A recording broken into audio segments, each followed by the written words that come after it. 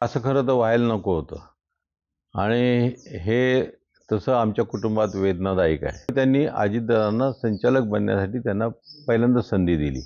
आणि मी शेती बघत होतो. ते काही झालं ते चांगलं झालेलं आहे. पवारसाहेबांच्या मुख्यमंत्री पदाच्या काळात जेव्हा राजकीय क्षेत्रात ते आले मला असं वाटतं की त्या काळात कदाचित मी राजकीय क्षेत्रात आलो असतो तर जी आज काही परिस्थिती दिसती त्याची सुरुवात त्याच वेळी झाली असती. पवारसाहेबांनी मला वाटतं मुलाखतीत सांगितलेलं आहे की या बाबतीत ते फारसं काही बोलणार नाहीत. आणि मला असं वाटतं की निनावी पत्राला तेवढं महत्त्व नसतं. परंतु काही वेळा कसं असतं की लोकांच्या भावना असतात आणि त्या लोकांच्या भावनात व्यक्त होता येत नसतील आणि त्या कुठे तर दाबल्या जातात असं वाटत असेल तर निनावी पत्राच्या रूपाने काही विचार बाहेर येतात. आणि मला वाटतं अशा पद्धतीने हे बारामतीकरांचे कोणाचे तरी विचार या पत्राच्या निमित्ताने बाहेर आलेत. मला असं वाटत नाही कारण छत्रपती कारखान्याचं जेव्हा इलेक्शन लागलं होतं आणि त्यावेळी आप्पासाहेब छत्रपती कारखान्याचं पॅनल प्रमुख होते आणि त्यावेळी त्यांनी अजितदादांना संचालक बनण्यासाठी त्यांना पहिल्यांदा संधी दिली आणि मी शेती बघत होतो. परंतु जेव्हा अजितदादा पवारसाहेबांच्या मुख्यमंत्री पदाच्या काळात जेव्हा राजकीय क्षेत्रात ते आले आणि त्यांनी पुढं राजकीय क्षेत्रात त्यांनी भाग घ्यायला सुरुवात केली त्यावेळी नंतर जेव्हा इलेक्शन आलं तेव्हा मात्र मी दोन वेळा या छत्रपती कारखान्यात इंटरेस्ट दाखवला होता. परंतु पवारसाहेबांनी दोन्ही वेळा मला सांगितलं की आपण या क्षेत्रात जाऊ नये. आणि तो त्यांचा विचार होता किंवा त्यांचा आदेश होता. आणि तो आम्ही त्यावेळी पवारसाहेब प्रमुख असल्यामुळे तो आम्ही मी मांडला मला असं वाटतं की कदाचित तो पॉलिटिकल जरी निर्णय असला तर त्यांना राजकारण जास्ती समजतं. आणि मला असं वाटतं की त्या काळात कदाचित मी राजकीय क्षेत्रात आलो असतो तर जे आज काही परिस्थिती दिसती त्याची सुरुवात त्याच वेळी झाली असती.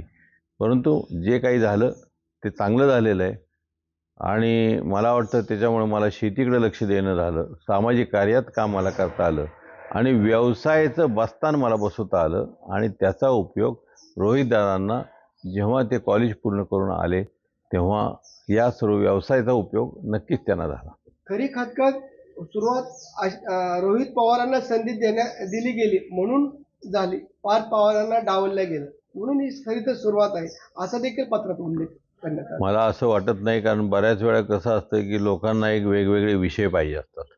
पवार घराण्यात काय चालतं काय नाही हे डोकावण्याची एक पद्धत असते किंवा कुठेही लोकांना डोकावणं फार आवडतं. वस्तुस्थिती काय ही समोर आपल्याला माहीत नसते. आणि अशावेळी मला वाटत नाही कारण पार्थ पवार हे मावळमध्ये उभे राहिले होते खासदारकीसाठी उभे राहिले होते. आणि त्यांना त्यांचं काही क्षेत्र करायचं ते पिंपरी चिंचवड आणि त्या भागात त्यांची सर्व वावर असतो त्या भागात. त्यामुळे मला असं वाटतं की तसा तो विषय नसेल कारण रोहिदांना जर तसाच विषय असता तर बारामतीत त्यांनी इंटरेस्ट दाखवला असता. तसं न करता त्यांनी कर्जत जामखेडला स्वतः जाऊन तिथं तो मतदारसंघ त्यांनी त्यांनी स्वतःसाठी तयार केला. की त्याच्यामागचं भूमिकाच एक असावी की वाद होऊ नये. असं खरं तर व्हायला नको होतं. आणि हे तसं आमच्या कुटुंबात वेदनादायक आहे.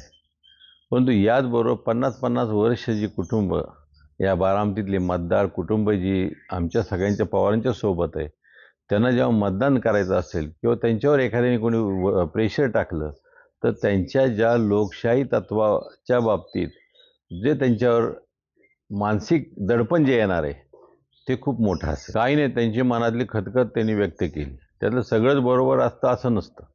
परंतु त्यांनी जो दबाव आहे त्या दबावातनं समोर व्यक्त होता येत नाही म्हणून पत्रातनं व्यक्त झालेत असं मला वाटतं.